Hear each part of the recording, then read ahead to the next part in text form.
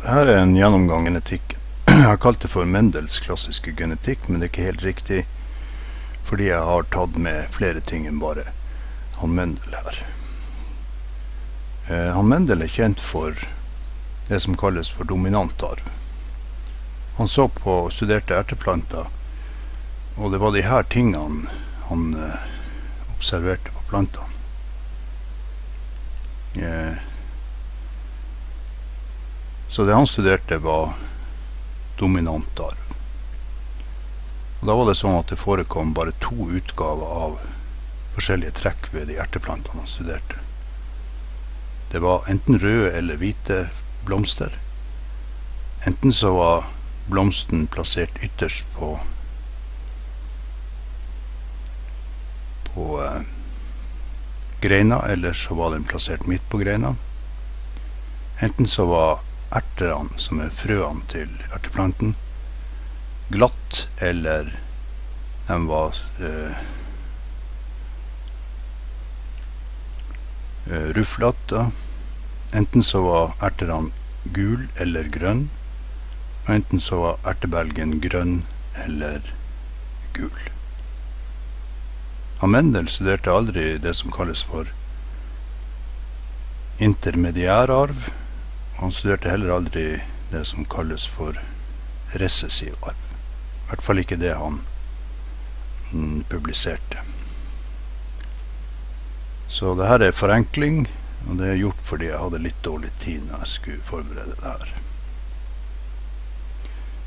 Krysningsskjemaene som vi kommer til lenger inn i, i denne presentasjonen, det er heller ikke Mendels påfunn. Det ble, på, det ble funnet opp eh, etter år 1900 av en engelsk eh, biolog som heter Reginald Punett. Så i internasjonal litteratur så blir det krysningsskjemaet kalt for eh, The Punett Square. Så den fremstillinga som jeg kommer med her, den er mer dramatisk enn virkeligheten. Men jeg håper likevel at eh, man ved hjelp av det kanskje kan lære seg de viktigste tingene om mens, eller den klassiske, gamle genetikken.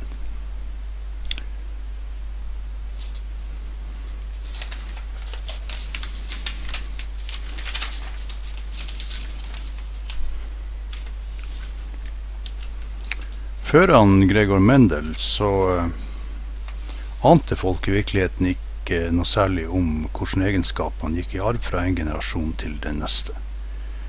Det man antok, var at de egenskapene barna fikk, var en blanding mellom de foreldrene hadde, de biologiske foreldrene. Så hvis man kryssa en hvit hest med en svart hest, så ville man få en hest som enten var grå eller brun, eller en hvit hest med svarte flekker. Likevel så hadde menneskene i flere tusen år lyktes med å krysse seg frem til bedre og bedre planter og dyr. Og det foregikk ved, en, eh, ved utvalg. da. F.eks. så fikk man bedre hester og hunder som var mer tilpassa mange forskjellige bruksområder. Så man fikk forskjellige raser, kan man si, av hester. Forskjellige raser av hunder, sauer, kyr osv. Plantene var også blitt for, for forbedra.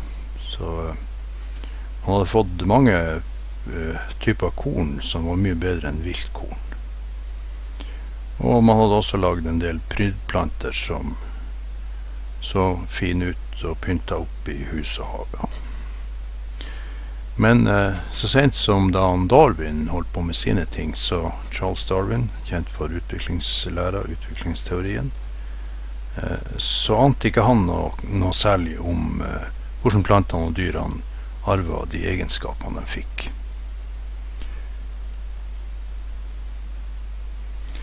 Og først etter år 1900 så ble Mendel sine arbeider kjent. Charles Darwin der på bildet.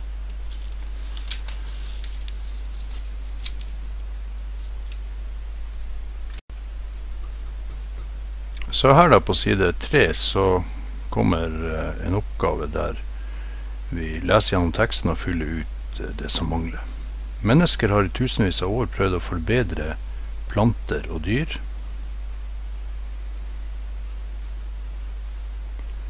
Slik at de skal kunne være til bedre nytte for oss. Blant de dyrene som vi har endret mest, er hund,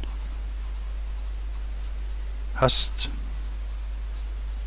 og katt.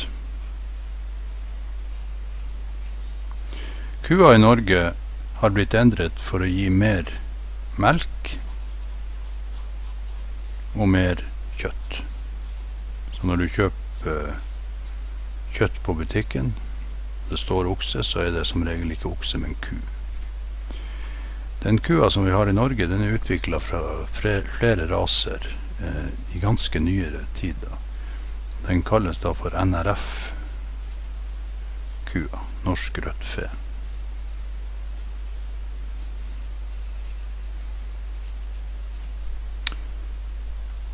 Og den har, er da stort sett sånn rødbrun og med en del hvite flekker. Ganske stor, stort dyr med store jur. Og den gir mye melk og også mye kjøtt. Grisen har blitt lengre. Den norske grisen er spesielt lang pga. at den skal gi mye ribbekjøtt. Og grisen har også mindre fett på kroppen. Så det er mer muskler mindre fett, altså mer kjøtt i forhold til fett. Sauen er blitt foredlet for å gi mer ull og mer kjøtt. Også planter har vært endret mye. De vanligste kornsortene i Norge er rug, hvete, havre og bygg. De er utviklet fra ville planter. Så de er opprinnelig ville planter. Ja, vi går videre.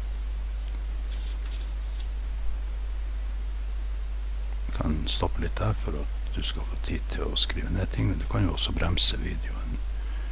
Uh, Sette den på pause, og så skrive ned.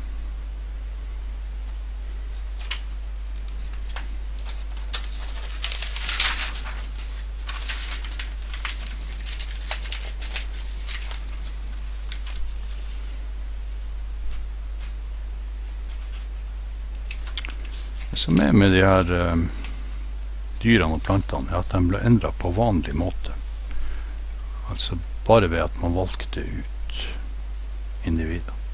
Plantene og dyra ble endret av menneskene ved at de beste ble plukket ut, eller valgt ut. Vi kan skrive 'valgt' her.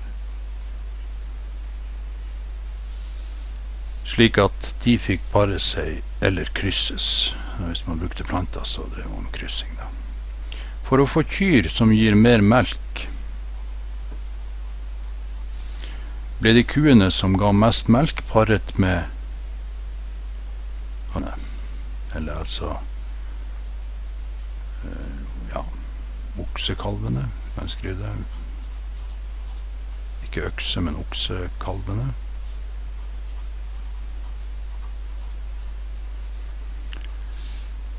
Fra andre kyr som ga mye melk. På samme måte ble, ble andre planter og dyr valgt ut og fikk gi sine egenskaper videre til avkommet.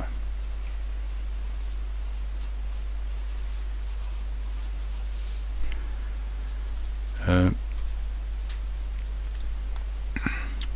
så, og det her foregikk over lang tid. Sakte, men sikkert ble egenskapene slik vi, eller menneskene,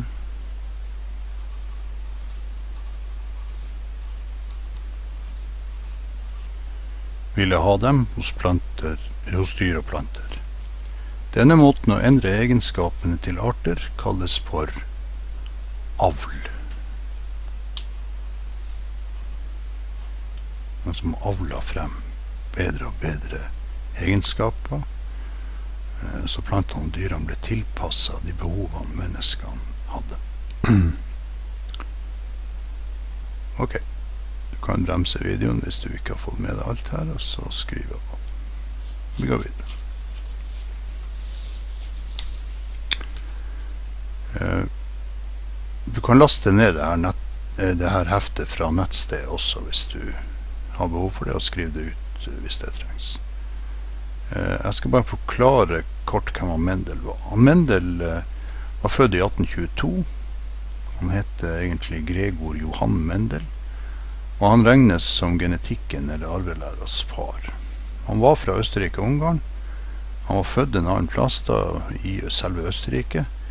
Men hjembyen hans, der han studerte de her plantene og også jobba som munk og abbed og lærer, det var en by som heter Brno i Tsjekkia. Dagens Tsjekkia. Han Gregor han var en meget begavet gutt, og foreldrene brukte det meste av det de hadde av penger til å skaffe han en utdannelse.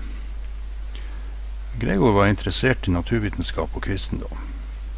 Etter studiene så gikk han i kloster og ble sjef for klosterhagen. Men han underviste også i naturfag på den videregående skolen i byen. Mennel var spesielt interessert i arva egenskaper, og fant en plante i klosterhagen som var eh, veldig godt egnet til studiet av det her. Dette var en art av erteplanter. Hos den erteplanten fantes det ett sett av egenskaper som forekom som enten-eller, eh, og det var flere av de egenskapene som var enten-eller. Og det var de her eh, egenskapene som interesserte han Gregor Mendel. Og eksempler på egenskaper som var sånn enten-eller, det var ertefargen. Det var enten gul eller grønn. Blomstene var enten rød eller hvit. Vi, altså Siden så snakka han rød og rosa og hvite blomster. Det var en annen kar som utførte det eksperimentet. Eh, og blomsten var enten festa ytterst på greina eller midt på. Det fantes også flere trekk. Erteplantene har insektpollinering. Og for å få full kontroll over hvordan plantene parer seg med hverandre. Altså hva slags eh, plante som var far og mor. Så måtte han Mendel unngå det her på et vis. Så de fikk eh, bygd eh, store drivhus, og der sørga han for at humler og bier og blomsterfluer eh, ikke slapp til. Etter at det var gjort og plantene sto der, så kunne han Mendel sjøl og de munkene som var der, kontrollere hvilke planter som kunne krysse seg med hverandre. Og Mendel skar, beskar plantene og overførte pollen fra støvbæreren på hannplanten til arret på hunnplanten. Og På den måten så gjennomførte han en streng kontrollert og selektiv kunstig befruktning av erteplantene, sånn at bare han bestemte hvilke planter som kryssa seg med hverandre. Det første trinnet i prosessen var å skape reinrasa stammer, eller raser av erteplanter, med bare én av de to egenskapene. Så han kryssa seg da frem eh, for å få generasjoner av erter som bare hadde gule erter, eller bare hadde grønne erter. Bare hadde hvite blomster, bare hadde røde blomster osv. Så, videre. så det var da første trinn i prosessen. Når vi fortsetter nå, så eh, eh, gjennomgår jeg egentlig noe som ikke er, er Mendel-forsøk. Eh, dere får ha meg unnskyldt for det. Eh, vi skal se på neste side.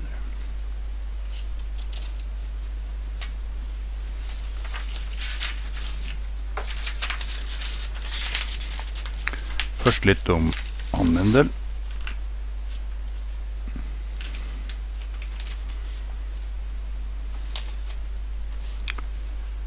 Gregor Johan Mendel. Gregor Mendel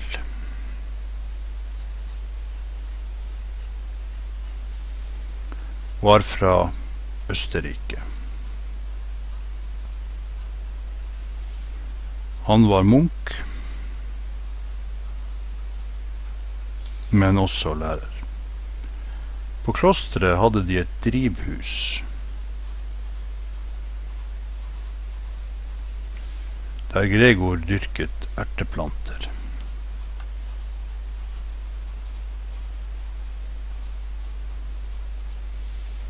Han eksperimenterte med krysning av plantene.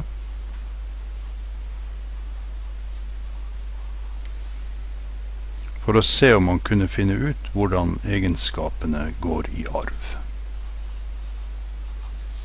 Etter hvert fant han ut at, av det og skrev en bok som kom ut i 1886. Gregor Mendel kalles genetikkens far.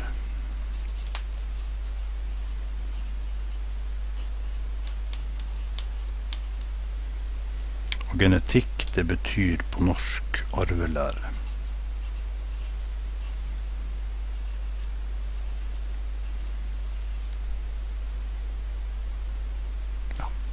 Kan se på denne sida om du får, har fått med deg det du skal. Så kan vi fortsette. Det jeg snakker om nå, det er ikke helt riktig, fordi jeg har henta det her fra litt forskjellige kilder, men han Mendel utførte aldri det her forsøket. Det ble utført senere av en tysk eh, biolog, botaniker. Og det dreier seg ikke om erteplanter, det dreier seg om en blomst som heter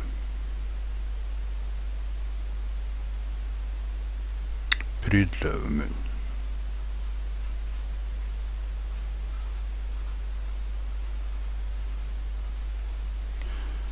Så jeg skal siden komme tilbake til hva den mannen het. Men foreløpig så holder vi oss til den enkle fremstillinga. Her vil late som han, det var en Gregor som gjorde det her. Erteblomstene, altså prydløven som han Gregor, ikke han Gregor, forska på, hadde tre ulike farger. Rødt, hvitt og rosa. Han ville finne ut om det var noen sammenheng mellom fargen til blomstene til foreldrene og barna. Foreldreplantene til ertene og eh, barneplantene til ertene. For å få kontroll over krysningen brukte Gregor en liten pensel til å overføre pollen fra hannplantene til hunnplantene. Pollen er plantenes sæd. Det han gjorde, var da å gjennomføre kunstig befruktning på de her erteplantene. Så hadde han da full kontroll over hva som skjedde.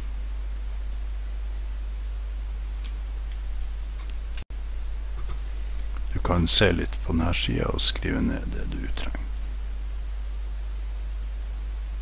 Jeg setter pause hvis det trengs. Ok?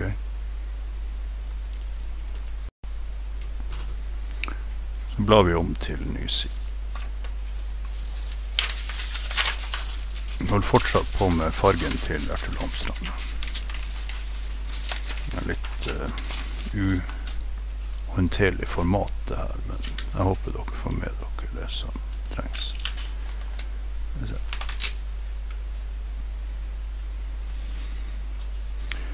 Gregor krysset først to planter som hadde røde blomster. Og det han fant ut av, det var at alle barna, jeg egentlig si barna i gåseøyet, til disse plantene fikk røde blomster. Og det her foregikk jo ved at han først kryssa de her plantene som beskrevet før. Så lot han eh, ho rosa, eller ho-blomsten, utvikler seg til en ertebelg. Så plukker han da ertebelgene fra de plantene, og så planter han frøene. Det her gjorde han da for flere tusen frø til sammen i de forsøkene han gjorde. Så måtte han vente da til planten vokste opp, og så kunne han se hva slags farge de fikk eh, på blomstene. Og, eller andre trekk som han var ute etter å se på. Så han måtte vente helt til han fikk en generasjon av nye eh, erteplanter for å se hvilke egenskaper som ble resultatet av krysninga. Han krysset så, ikke så, men så to planter med hvite blomster, og alle barna fikk hvit blomsterfarge. Så langt, så godt. Ingenting uventa. Men så kryssa han to planter med rosa farge. Han trodde selvfølgelig at barna skulle få rosa farge. Altså alle ungene. Men det var ikke det som skjedde.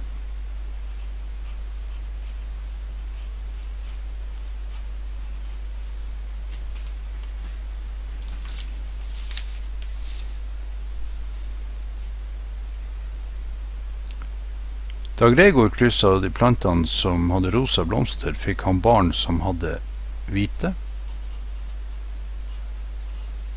røde og rosa blomster. Altså rosa farge. Dette forundret Mendel. Hva i alle dager hadde Det her er jo litt vel dramatisk, det å ta litt i. Det er jo ikke han Mendel som har gjort det forsøket. Er ikke sikkert det kom som en overraskelse på han som gjorde det heller. Hvordan var dette mulig? Det her er laga til for at det skal virke mer dramatisk enn nødvendig. Mendel sto fast en stund, men så begynte han å telle hvor mange.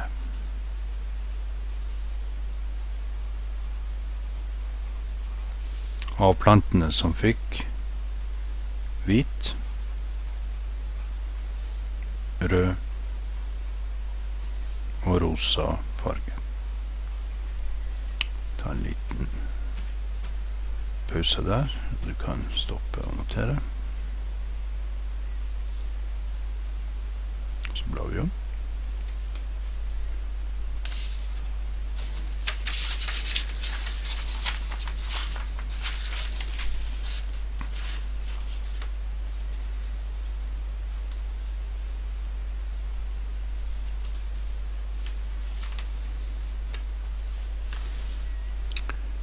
Han fant ut etter denne tellinga at det var omtrent like mange.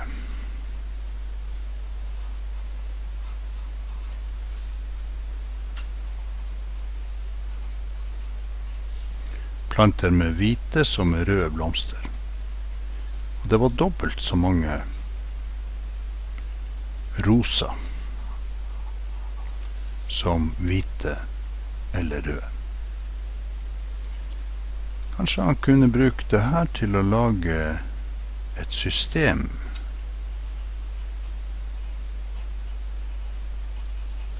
for hvordan eller hvordan arven foregikk. Altså han fant like mange røde og hvite, men dobbelt så mange rosa etter en kryssing av to rosa planter.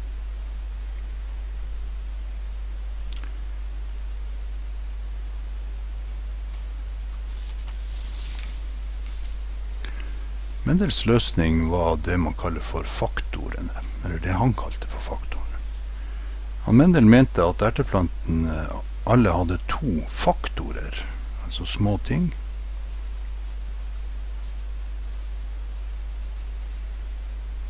Som bestemte fargen til blomsten. Den ene av disse faktorene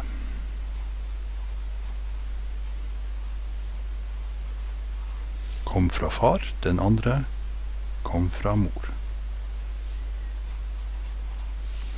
Når en ny plante ble til,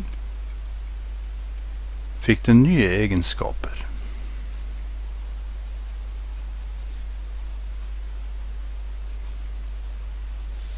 Som ikke behøvde å være de samme som mors eller fars faktorer. Han så jo at når han kryssa to rosa planter, så fikk han ikke bare rosa blomster. Og det måtte jo bety at uh, det var noe i de to rosa plantene som gjorde det mulig for ungene å få hvit og rød farge.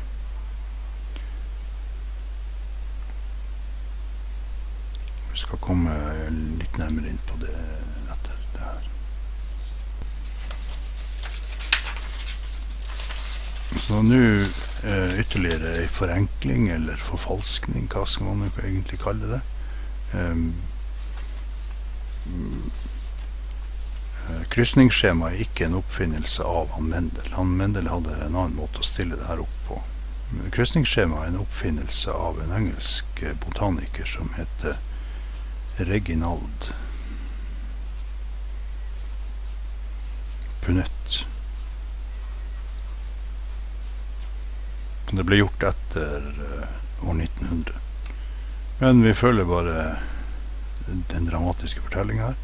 Mendel laget til et skjema som kunne brukes til å forklare hvordan arven av erteblomstenes farge foregikk. Dette skjemaet kalles for et krysningsskjema. Det er det det fortsatt kalles for på norsk. I engelsk litteratur og internasjonal litteratur så blir det her kalt for punett square. Det som vi kommer til siden her. Neste side. Du ser et slikt på neste side. Forkrysning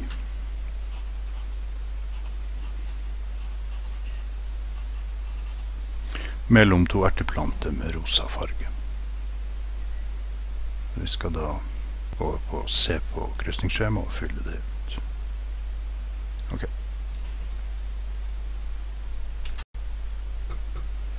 Det vi ser på krysningsskjemaet her, det er, ja, det er litt forseggjort, det her krysningsskjemaet. Egentlig kan du lage det sjøl, bare ved å lage noen streker i boka, så du får tegna det her, det her ruteoppsettet her. Men jeg har lagd det litt forseggjort for at det skal være enklere å forstå. At, uh, her oppe så står da de såkalte faktorene til faren. Dette er da det internasjonale tegnet for han. Da, så vanligvis står det på den sida. Det har egentlig ikke noe å si.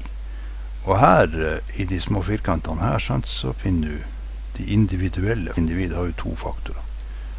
Denne faktoren R, den kode for rød blomsterfarge.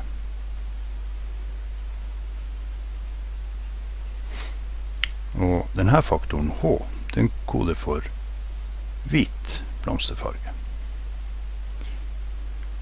Så når et individ både har anlegg for rød og anlegg for hvit, så vil utseendet til denne farplanten, fargen til blomsten, den vil være rosa.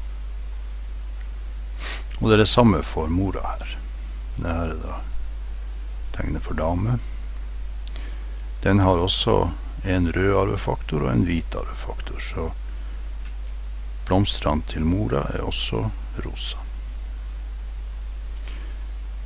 Her nede i denne firkanten her, som består av fire små ruter, så skal vi prøve å finne ut hvilke muligheter det er for arv fra, av, av faktorer fra far og mor. Som du husker, så var det sånn at de arver én faktor fra hver.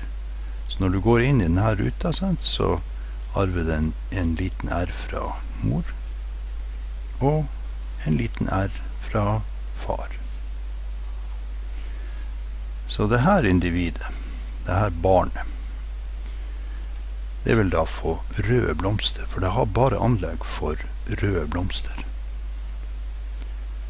Så hvis vi går ned hit, så vil det arves en arvefaktor for hvit farge fra mor og en arvefaktor for rød farge fra far.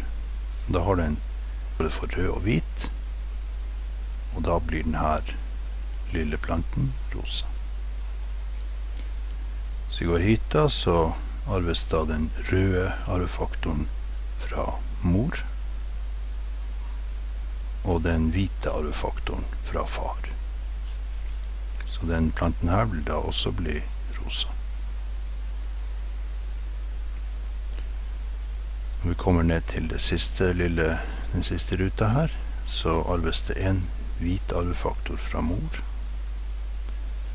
og også en hvit arvefaktor fra far. Så Den her har bare anlegg for hvite blomster, så da blir eh, blomstene til den planten hvit.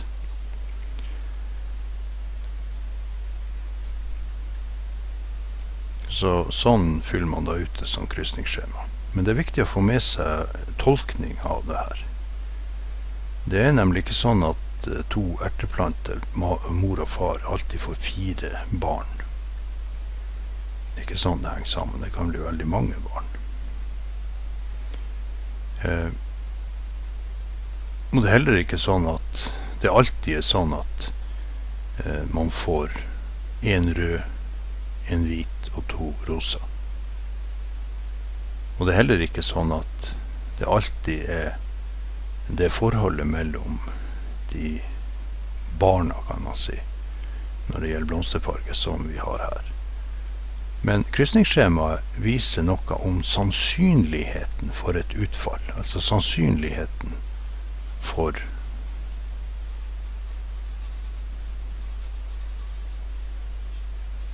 en gitt blomsterfarge.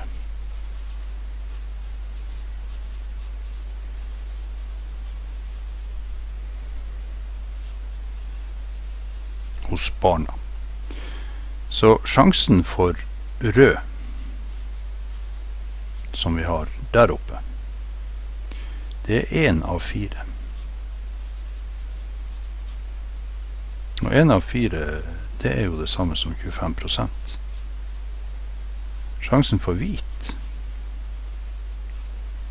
den er også én av fire.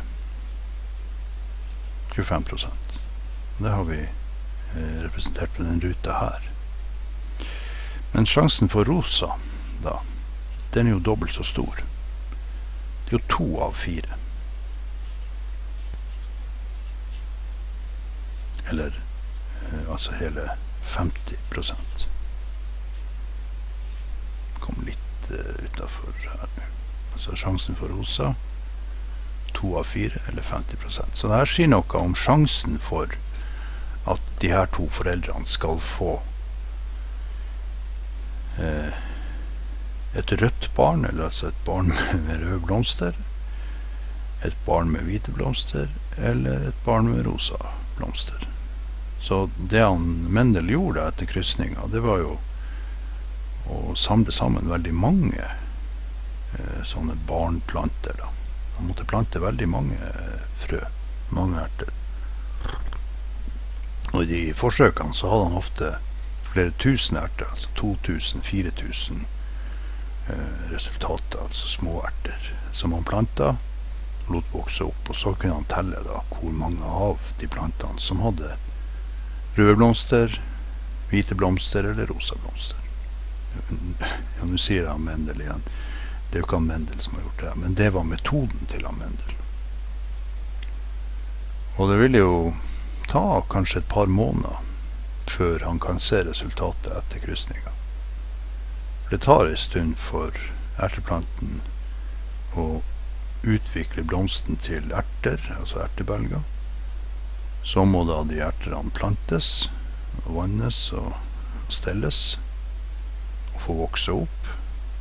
Og så kan man se fargen på blomstene. Men erteplanten er ganske godt egnet til eh, denne typen forsøk, fordi det ikke tar altfor lang tid før man ser resultatet av krysninga. Den andre fine tingen med, med, det her, det er jo at han Mendel og hans munkefrender de hadde jo full kontroll over hvilke planter som kryssa seg med hverandre, når de hadde eliminert insektpollineringa. Så det, det, som er viktig her, det er å lære seg å fylle ut et sånt krysningsskjema, tolke det og fortelle noe om sannsynligheten for ting. Vi kommer tilbake til en del begreper som har med krysningsskjema å gjøre. Eh, som også gjelder dette skjemaet. Men vi skal fortsette med å fylle ut andre krysningsskjemaer uh, som gjelder blomsterfarge på sidene som følger etter det her.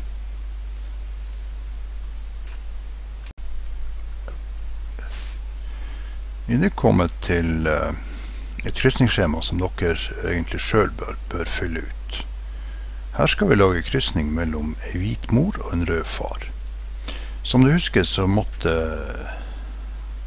et individ som skulle ha hvite blomster, bare anlegg for hvitt. Så mora skal bare ha anlegg for hvitt. Det betyr at den har to H små H-er her som arvefaktorer.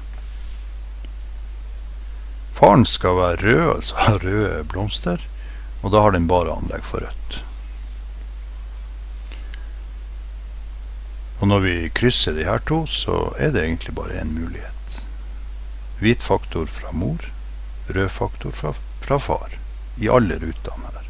HR, HR, HR, HR.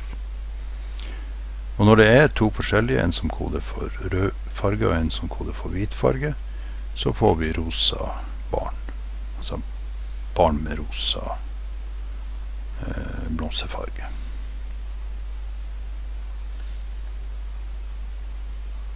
Krysser man en rød far, altså en far med røde blomster, med ei mor med hvite blomster, så får man kun rosa barn. Og det har ingenting å si om vi reverserer det, sånn at vi sier at ok, nei, vi vil ha en mor med rosa blomster og en far med hvite blomster. Man får akkurat samme resultatet fordi det kommer en faktor fra hver av foreldrene. Så når du krysser da en plante med røde blomster med en plante med hvite blomster, så får du kun rosa avkom. Så det er 100 sjanse for rosa her.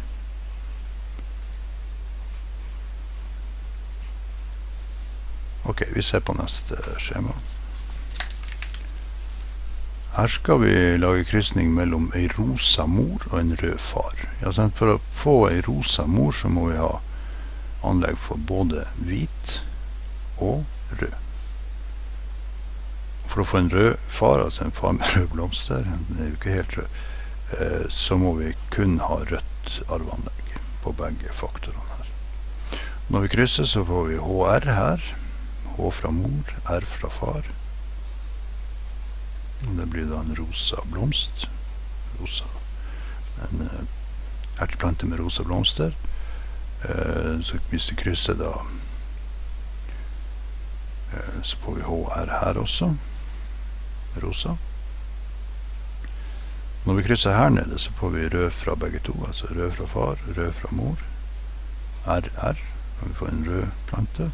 Plante med røde blomster. Og likedan i det siste siste ruta RR. Rød. Så man krysser Og igjen så har det ikke noe å si hvem av foreldrene som er rosa, og hvem som er rød.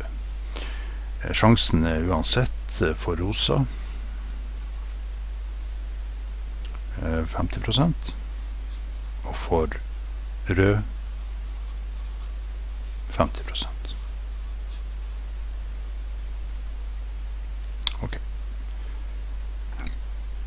Vi går videre.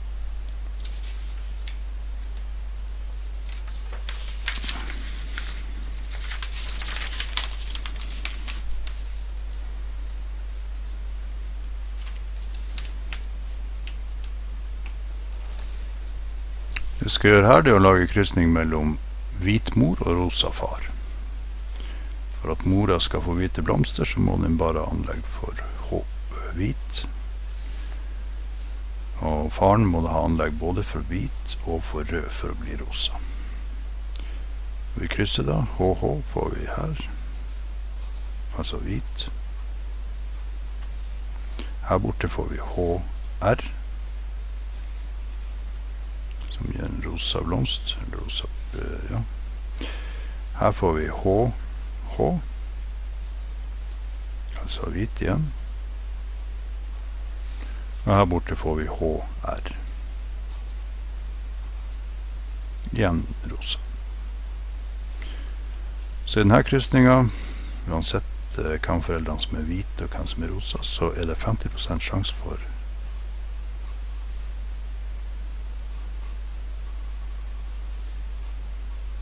hvit. Og så 50 sjanse for rosa. Så sånn, eh, sånn er den saken. Jeg håper du begynner å komme litt inn i det her nå. hvordan man fyller ut de her skjemaene, og hvordan man tolker dem.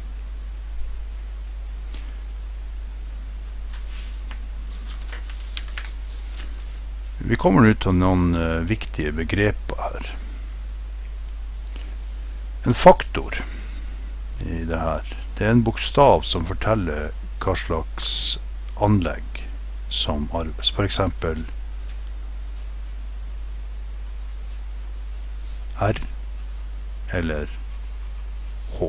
Altså det er bare én av de bokstavene. Homozygot. Nå kommer de vanskelige ordene. Homozygot det betyr at det er to like faktorer i en organisme, f.eks. HH eller RR. Homo det betyr lik.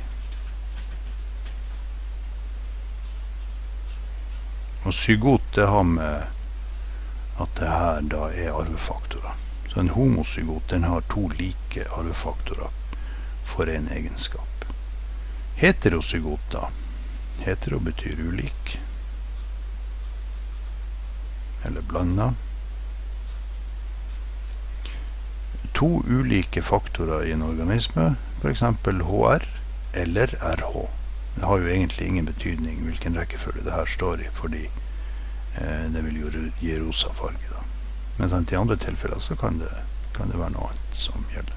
Det er i hvert fall sånn at det er to forskjellige faktorer. Da kalles eh, det paret av faktorer for heterozygot prosentandel. Hvor mange prosent av barna som får en bestemt kombinasjon av faktorer. F.eks. 25% hvite, 25% røde og 50% rosa, som vi så i krysninga mellom de to rosa eh, erteplantene. Altså erteplanter med rosa, med rosa blomsterfarge. Prosentandelen kan brukes til å bestemme sannsynligheten for at en genotype eller fenotype dukker opp. Og her har jeg vært litt tidlig ute med å komme med ordene genotype og fenotype. Genotype det er lik eh, de to faktorene.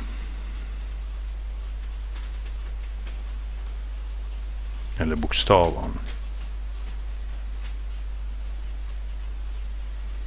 Til et individ.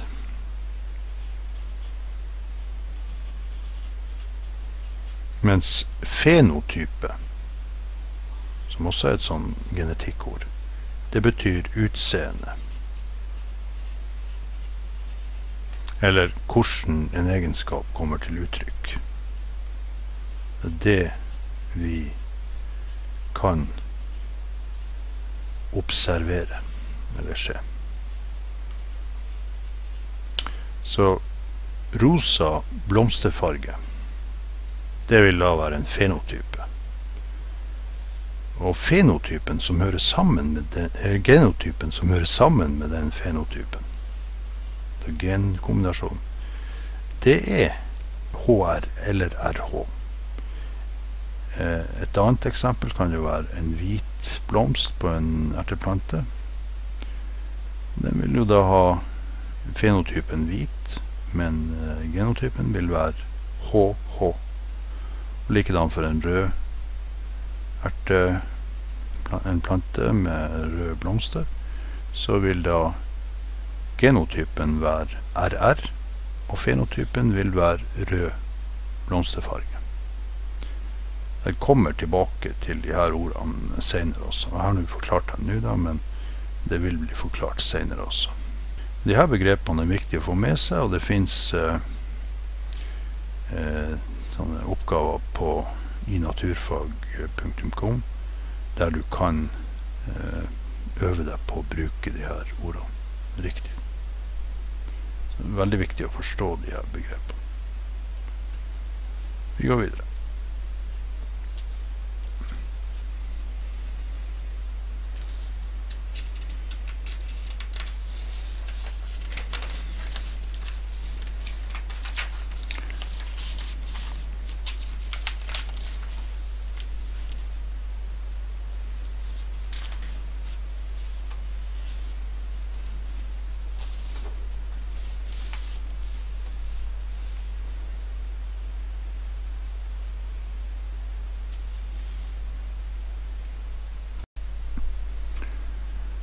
Vi kommet nå til eh, liksom del to i det her. På en måte del to. Det er krysning nummer to. Dette det her er et forsøk som han Mendel faktisk gjorde sjøl. Her er det krysning der han så på fargen til erterne, til erteplantene.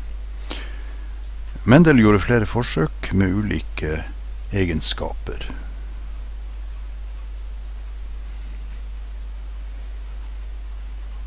Til erteplanter. Et av disse dreide seg om fargen på ertene, som er frøene til erteplanten. Det fantes to farger på ertene til Mendels erteplanter. Gul og grønn. Det er noe vi vet fra butikken nå, at du kan få kjøpt gule erter og grønne erter.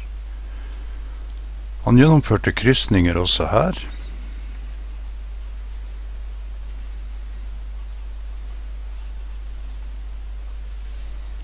For å finne ut eh, om sammenhengen mellom fargen på ertene til foreldrene og barna.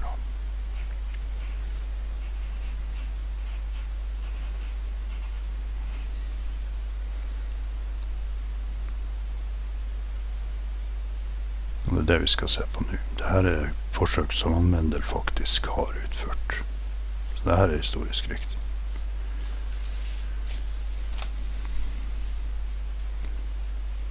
I krysning nummer én så kryssa han da en erteplante med grønne erter.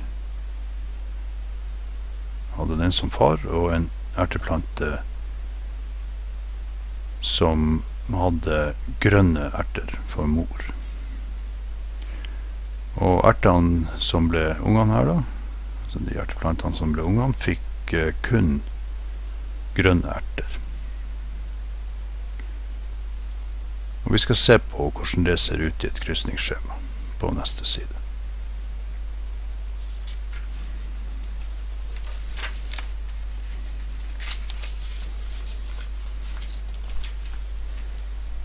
Her skal vi da lage krysning mellom to grønnertet plante, som man kan kalle det. Så faktorene her, det er jo mm, I dette tilfellet Her skal det ikke stå rød farge, her skal det stå grønn farge. Det er noe av det her som er gjort veldig raskt. Um, den lille G-en er det anlegg for grønn farge. Så vi, begge foreldrene har kun anlegg for grønn farge. Det er derfor de er grønne. Både mor og far har kun anlegg for grønn farge, altså den lille G-en. Når vi krysser, da, så får vi liten G fra mor og liten G fra far på alle eh, ungene her. GG. Så legg merke til at det er små bokstaver her. Det var jo det i de forrige forsøkene òg, men her har det en vits eh, at det er små bokstav og store bokstav. og når eh, man får kun anlegg for grønn farge, så blir da de her ungene alle sammen grønn. Det er grønn ertefarge på alle her.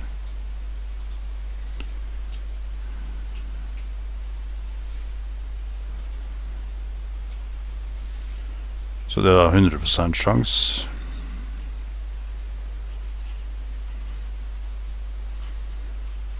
for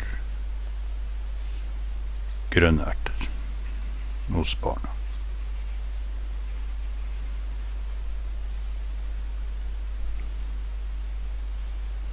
Okay. Det var jo for så vidt greit. Og Mendel kryssa også eh, mor og far som hadde gule erter. Og vi ser først på de reinrasa gule ertene. Det vil uh, Nei, det gjør vi ikke. Vi skal først se på ei mor med gule erter som krysses uh, med en far med gule erter, og som gir gul og grønn farge på ungene. hvordan kan det være mulig? Jo, det er jo mm, mulig kun på én måte. Vi skal se på det på neste side. Det er kanskje litt uh, fort gått frem, men vel, vel, vi får se. Du klarer å henge med.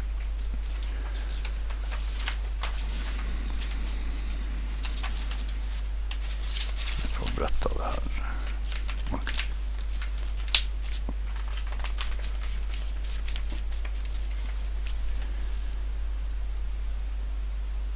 Så vi skal nå lage da eh, kryssing mellom to gulerteplanter der vi får unger eh, som har eh, grønne erter. Og Den eneste muligheten da det er at vi har en mor som både har anlegg for gul, som en store gen, og anlegg for grønn, som en lille gen. Her står det rød igjen. Det skal være grønn.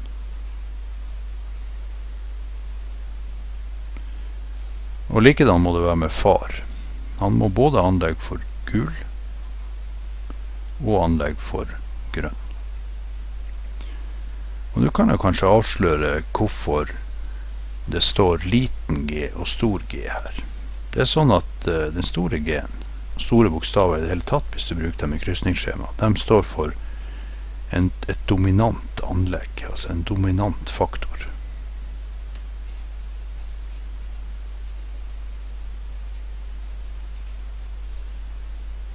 Og det er veldig forskjellig fra det vi har vært borti før. Og Hvis vi krysser de her to med de første faktorene, stor G fra far, stor G fra mor, så får vi bare stor G på det barnet her, og den får da gule erter. Og Hvis vi krysser den gule egenskapen fra mor med den grønne egenskapen fra far, så er det sånn at her virker ting sånn at den dominante faktoren, den skjuler eh, den andre faktoren. Den andre faktoren kalles da for den resessive faktoren. Eh, stor G står for dominant, og liten g står da for resessiv, eller vikende faktor. Skrives sånn. Vi kommer også tilbake til det siden. Det har eh, stått på arkene tidligere òg, men jeg har ikke nevnt det. Så hvis det er både anlegg for gul og anlegg for grønn, så vil denne planten ha gule erter. Fordi det er den gule anlegget som er dominant. Det blir ikke en blanding her. Det blir ikke gulgrønn. Det blir bare gul.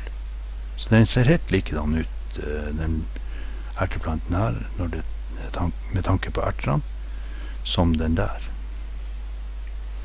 Og Likedan annerledes så får uh, ungen da anlegg for grønn fra mor og anlegg for gul fra far. Siden gul dominerer, så vil man få gule erter også her. Da selv om uh, genotypen, altså de her faktorene som finnes inni i den erteplanten, uh, her liten g, stor g, liten g, stor g og stor g, stor g. Siden, selv om de er forskjellige, så vil vi få gule erter i alle de plantene her. Men når uh, ungen da får et, en faktor som koder for grønn farge, og en fra mor, og en som koder for grønn farge fra far, da vil man se grønne erter hos barnet. Så her eh, kommer en del inn som, som er litt vanskelig å forstå. Fordi her dreier det seg om noe som man kaller for dominant arv.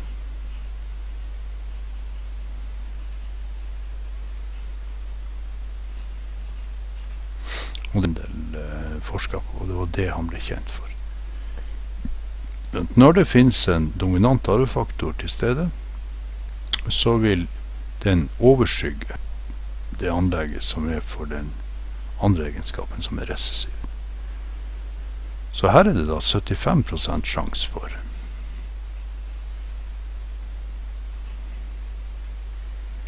gule erter. Og bare 25 sjanse for grønne erter.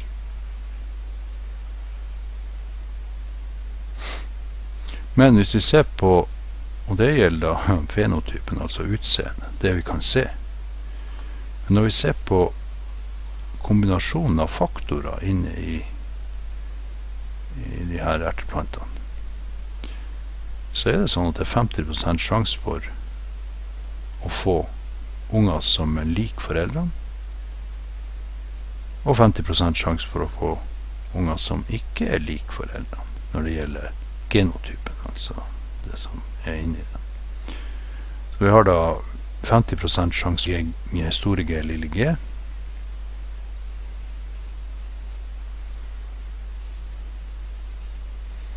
Og 25% sjanse for enten GG, stor G, stor G, eller liten g, liten g. Og selv om det er 75% sjanse for gule erter, som går på utseende, altså fenotype, så er sjansespillet, altså sannsynlighetene, eh, annerledes fordelt når det gjelder genotype, som vi har her oppe. Så det her eh, kan kanskje virke litt eh, komplisert, men det er ikke det. Husk på at når det står en dominant arvefaktor der, så det er den som bestemmer utseendet, eller hva som skal komme til uttrykk. Så når det står en stor bokstav, så betyr det at det er den som bestemmer egenskapen. Stor G står på gul, anlegg for gul uh, ertefarge. Hvis den er der, så vil ertene bli gule. Det har ingenting å si om det står en liten G der ved siden av, eller en stor G ved siden av. Ertefargen vil bli gul. Men når de her da skal få unger igjen, så vil det samme skje som her. Sant? Den leverer en arvefaktor helt uavhengig av om det er en stor G eller en liten G. Sant? Så neste gang så kan ting utvikle seg annerledes sånne, så får du samme utfall som her. Krysser du den og den, så får du et annet utfall. Så krysser du den og den, eller den og den, så får du flere utfall. Så her er det mange muligheter. Og vi skal se på noe.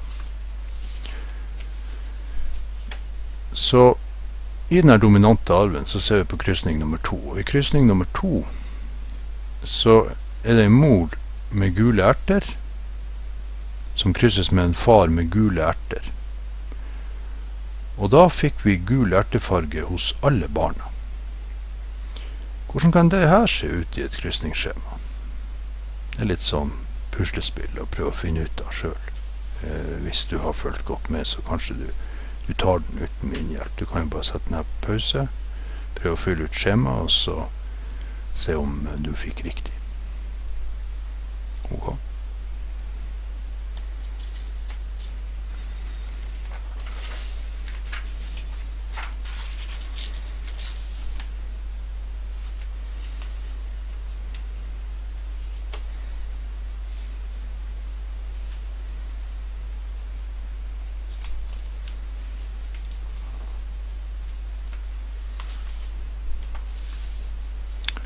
skal vi lage ei kryssing mellom to gulerteplanter.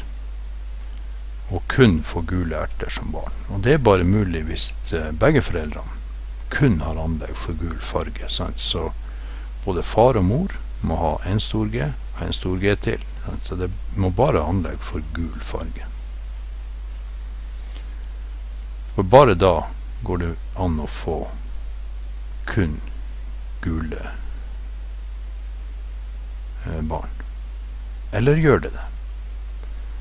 Her får vi jo stor G, stor G, stor G, stor G, stor G, stor G, stor G, stor G, og alle er gul. Så dette er mulighet én.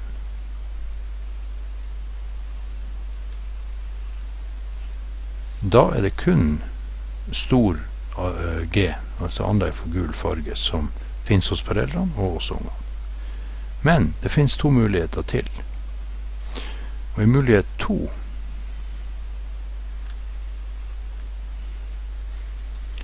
så har vi en eh, la oss si en far som har anlegg for grønn her.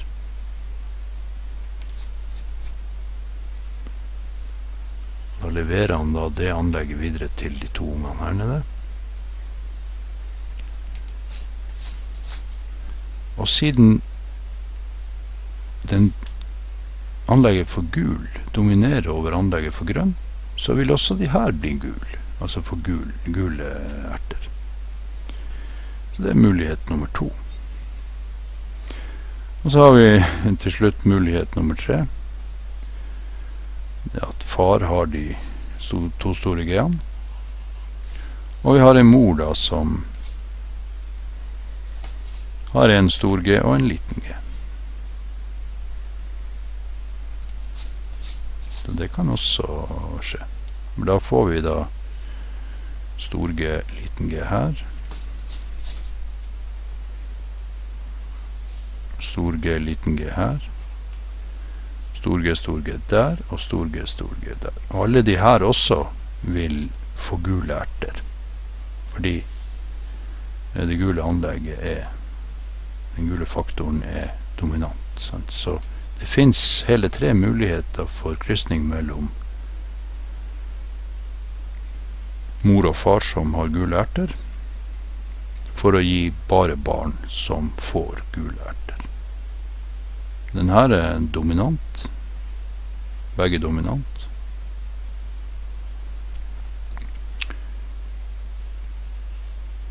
Og het homozygot.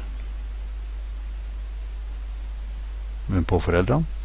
Mens begge de her er, dom, er, er heterozygot.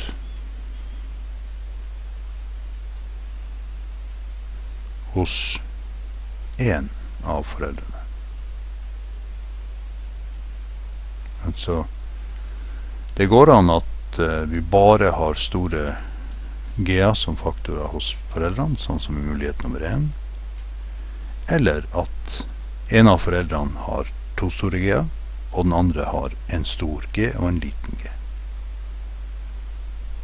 Det her uh, kompliserer seg litt nå, da.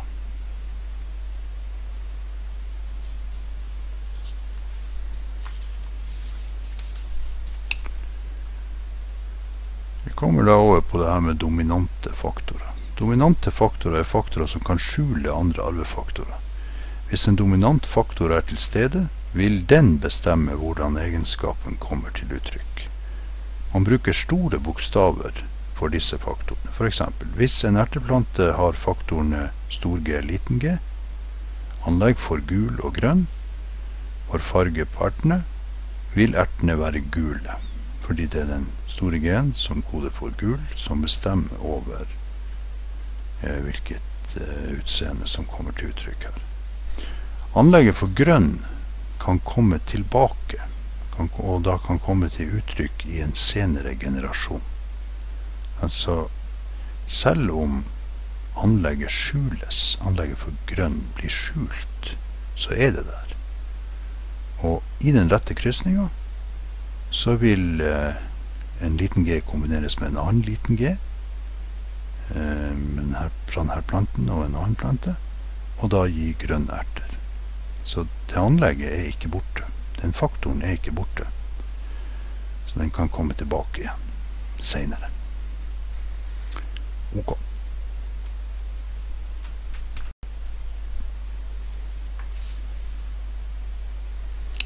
Så var det recessive faktorer. De recessive faktorene er jo de som blir tegna med liten bokstav. Og det må være to likedanne av de recessive faktorene for at den bestemte egenskap skal kunne komme til uttrykk. Så eh, hvis man da har anlegget H og R for blomsterfarge på erter, så får man ei blanding. Og den blandinga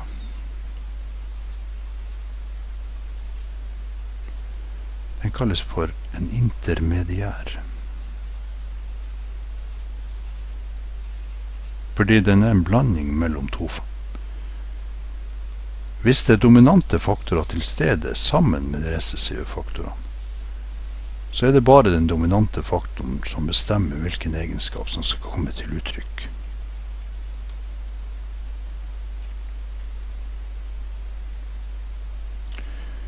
Eh, jeg har vært litt kjapp her.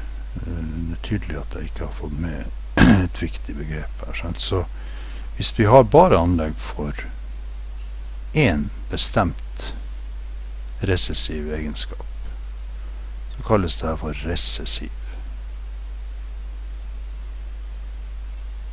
arv.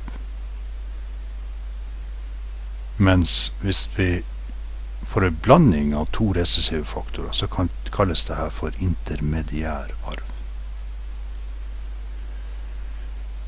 Det er mulig jeg må ta de her tingene på nytt. Men altså er det en dominant faktor der, så bestemmer den over de recessive. Uansett hva slags recessiv eh, faktor som er der. Og hvis det er to ulike eh, recessive faktorer, så får vi eh, et utseende, altså en fenotype, som eh, blir, blir en blanding mellom de to. Når en dominant faktor der, så får vi en ren egenskap som skjuler at det fins en annen egenskap, altså et annet anlegg. Det var da recessive faktorer. Litt om dominante, litt om blanding, intermediær.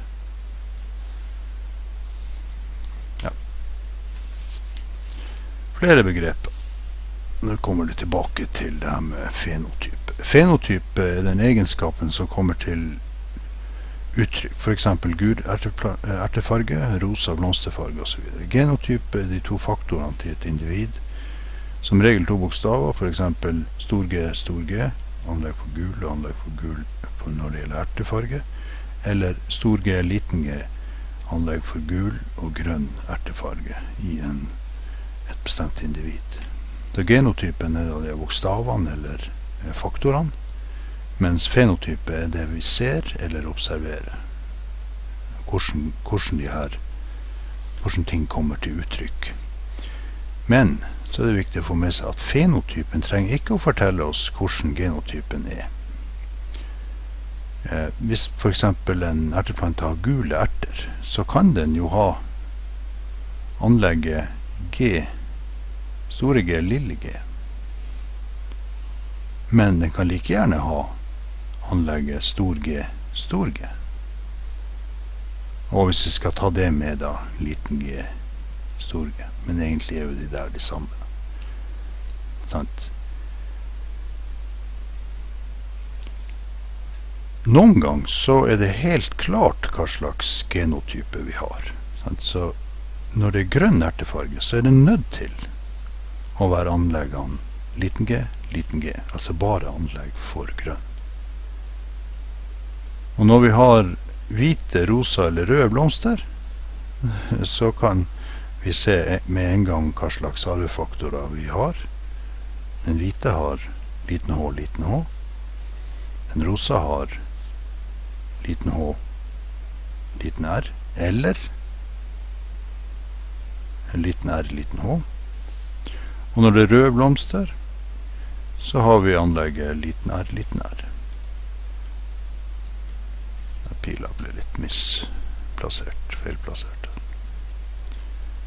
Altså Når vi har med dominant arv å gjøre, så kan vi ikke med en gang se på utseendet eller fenotypen hva slags genotype det er.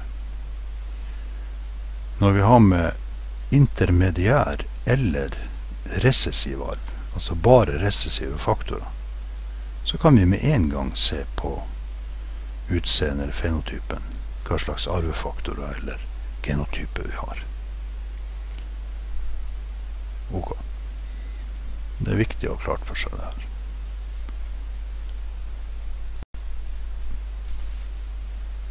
Så på slutten her da noen oppgaver med krysningsskjema som du skal utføre sjøl. Bruk de ferdiglagde skjemaene til å vise krysning mellom hvite og svarte kaniner. Og da kan du se i boka hvis du trenger hjelp. Du finner det i det her kapitlet 'Celler og arv'. Menneskers kjønn arves på samme måte som fargen til ertene. Anlegget for gutt, stor Y, er dominant. Anlegget for jente er resessivt. Bruk krysningsskjema til å forklare hvorfor omtrent 50% av alle mennesker, dyr og planter som har kjønnet formering, er gutter, og 50% er jenter. Og det finner du det krysningsskjemaet eh, senere her. Og til slutt, oppgave tre, kombiner riktig. Der er det snakk om begreper og forklaringer. Og det er da på siste sida i det her heftet. Ok. Her er vi over på krysningsskjemaet mellom eh, kaniner. Så ser vi da på pelsfargen. Og Da er det sånn at anlegget for svart nant, og derfor så skriver man en stor S for det anlegget, og anlegget for hvit farge er resessivt, så derfor skriver man en liten H på det. Og hvis du husker utfyllinga av de krysningsskjemaene, så eh, kommer det en stor S fra far her, en liten H fra mor, stor S fra far, liten H fra mor, stor S fra far, liten H fra mor, stor S fra far og liten H fra mor. Så alle de her ungene til de to foreldrene Vi har jo da en svart far. Og den er da homozygot. For svart pelsfarge. Den ser eh, Pelsen er svart, men i tillegg så er det sånn at uh, den har bare anlegg for svart. Så den er homozygot. Mora, da, hun er hvit. Hun har hvit pelsfarge. Og den er også homozygot, for den har to like store bokstaver som er helt likedan, Altså to små H. Den er da homozygot for hvit pelsfarge.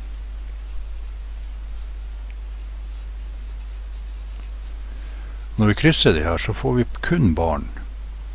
Alle de her ungene. Som har anlegg både for svart og hvit.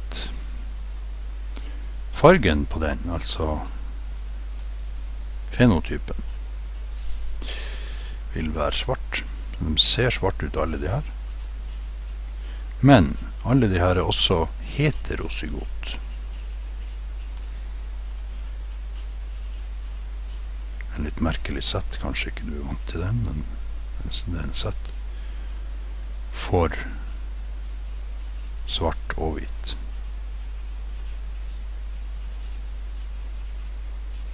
Pelsfarge. Så den har anlegg for begge to. Alle ungene har anlegg både for svart og hvit, men siden svart uh, arvefaktor er dominant, så vil fargen til alle de her Pelsfargen til alle de her være svart. Det er akkurat likedan som uh, den arven vi så når vi så på fargen på ertene. Ok, vi ser på neste krysningsskjema. Det er også krysning mellom svarte og hvite kaniner.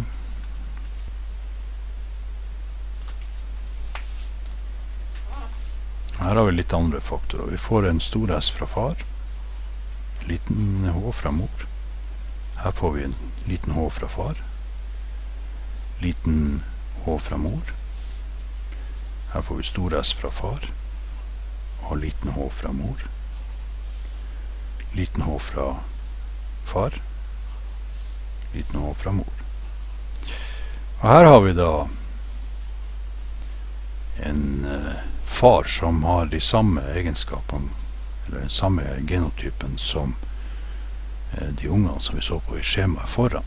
Den har anlegg både for svart og hvit pelsfarge, men siden svart dominerer, så vil fenotypen være svart. Og den er da heterozygot. Hetero. Zygot. Den har da anlegg både for svart og hvit farge. Mora er hvit, og når eh, kanin har hvit pelsfarge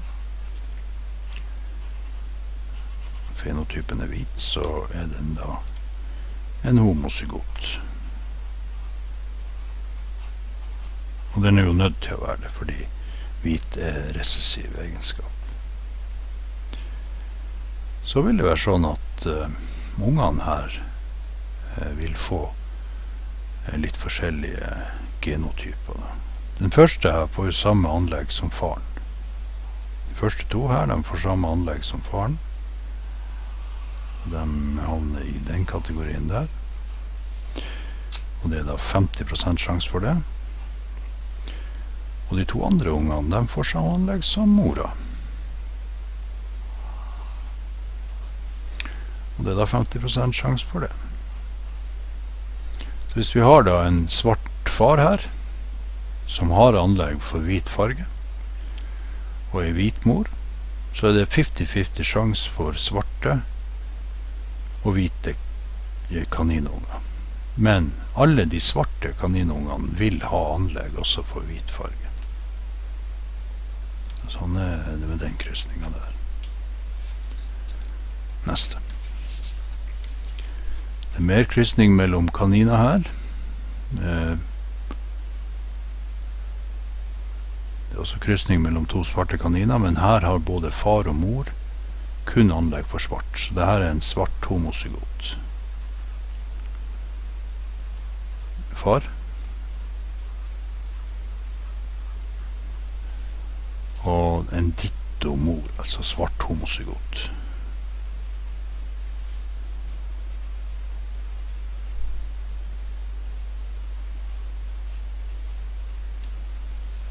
Og når en bare har anlegg for svart, så må jo fargen da bli svart.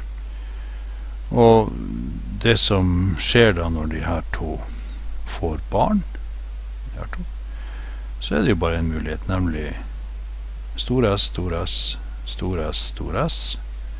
Stor S, stor S og stor S, stor S. Altså, de blir helt likedan som foreldrene. Alle barna med 100% sannsynlighet blir svart homozygot.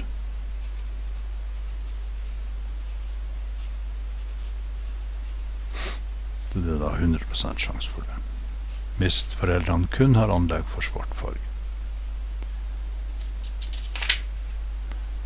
Og så har vi ytterligere muligheter. Fortsetter med det. Så er det mange varianter med forskjellig utfall. Varianter av foreldre. Her har vi da to svarte kaniner. Svart far, svart mor, som er da en svart heterozygot.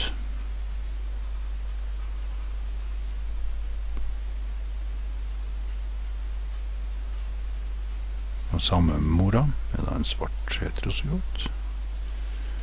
Når vi krysser da, så får vi stor S fra far, stor S fra mor. Svart homozygot.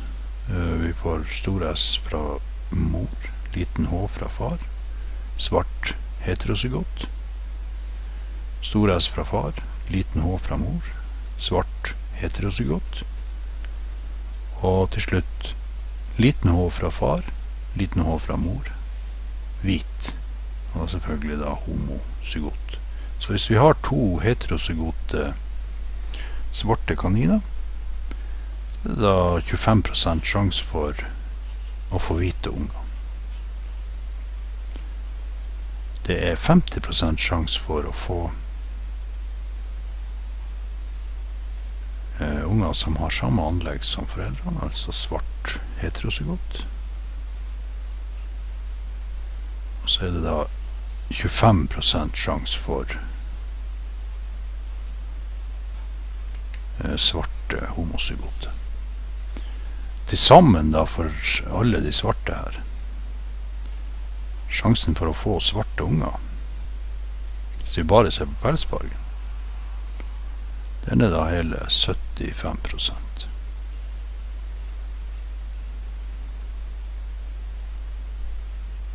Ok.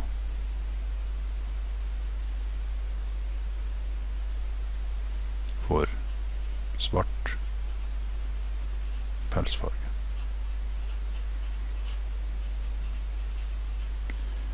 Tjuefem prosent uansett, altså for hvit pelsfarge. Mens de andre, de er da sannsynlighetene for de forskjellige genotypene. Som da kan komme til uttrykk i en senere generasjon, hvis det handler både for svart og hvit. Vi går videre. Krysning mellom to hvite kaniner. Ja, da er det jo bare anlegg for hvit hos far og mor, så barna kan også bare få anlegg for hvit. Så hvis vi har to hvite kaniner som vi krysser med hverandre, så vil vi få 100%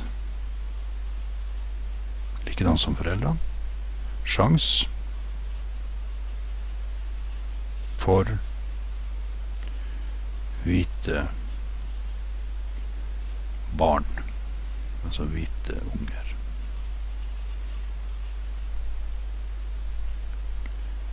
Har vi to hvite kaniner, så hvis det her stemmer med at svarte er dominant og hvite recessiv, anleggene for det, så har vi ingen sjanse for å få svarte unger i det hele tatt. Så to hvite foreldre kan ikke bio, bli, bli, biologiske foreldre til eh, hvite, svarte kaniner.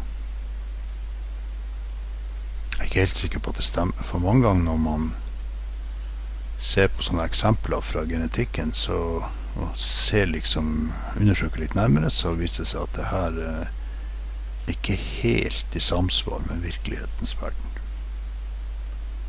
Og Det bør du også være oppmerksom på når du holder på med det krysningsskjemaene, at eh, virkelig eh, arv i genetikken eh, er ikke bestandig 100 i samsvar med de krysningsskjemaene. Fordi eh, når celledelinga foregår, altså celledelinga som lager kjønnscellene, sædcellene og eggcellene, så kan det skje ting som gjør at eh, det blir stokka om på arvestoff. Og eh, det lager da ytterligere muligheter i, i livets verden. Og det er egentlig en av de viktigste grunnene til at uh, kjønna formering er blitt en så stor suksess blant planter og dyr. Ok. Men uh, mer om celledeling siden. Vi skal nå over på arva kjønn.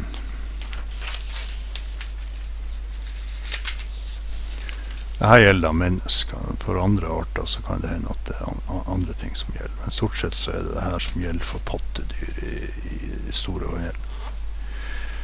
Da er det sånn at uh, i hvert fall hos mennesker da, så er det to ulike kromosomer, kjønnskromosomer.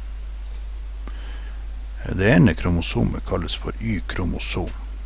Så her, det her, denne arven her, den er spesiell. De her to er faktisk kromosomer. Det er ikke bare gener. Det er hele kromosomer.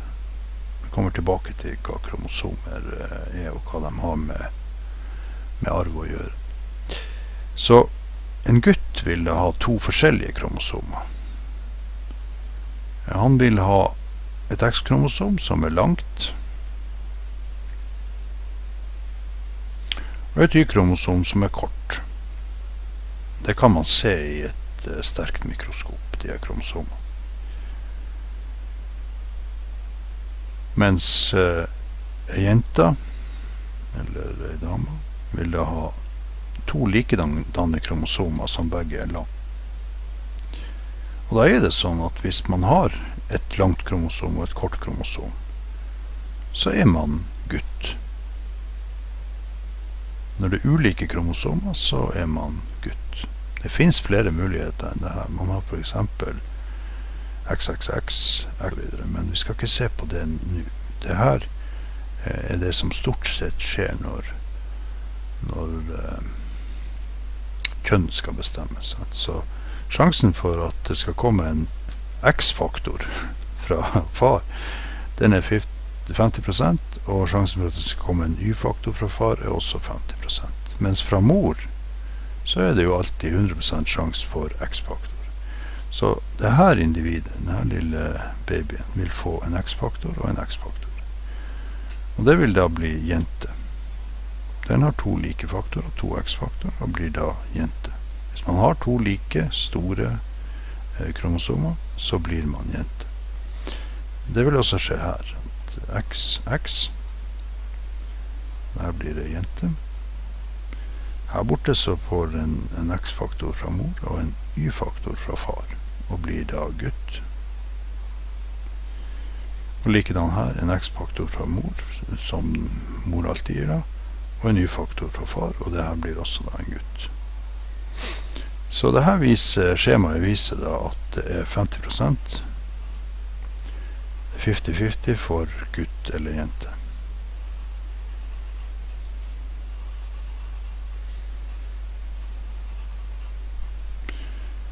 I kjønnaformering mellom mennesker. Og man kan også se at det er bare faren som bestemmer kjønnet til ungen, fordi det er bare faren som kan levere Y-faktoren. Så hvis det skal kunne bli en gutt, så må det ha vært en mann som har levert Y-faktoren. Og det er da 50-50, 50-50 for gutt eller jente. Så ved vel, undersøkelse av et veldig stort antall fødte barn, så har man funnet ut at det er bitte, bitte, bitte, bitte litt flere gutter som blir født enn jenter. Så det er en bitte liten eh, overvekt av gutter som blir født. Men så er det også sånn at guttene har en del sykdommer som er knytta til eh, det her spesielle lille Y-kromosomet, som gjør at eh, flere gutter dør i spedbarnsalderen. Så eh, når det er gått eh, noen få år, kommet inn tre-fire-femårsalderen, så vil det være omtrent like mange gutter som jenter igjen. Men altså for alle rimelige, alle rimelighetens uh, anslag, da, så er det 50-50 for gutt eller jente når mor og far får barn. Og grunnen til det er altså at uh, faren har et X-kromosom og et Y-kromosom. Og det er 50 sjanse for at ei sædcelle inneholder X-kromosomet eller Y-kromosomet.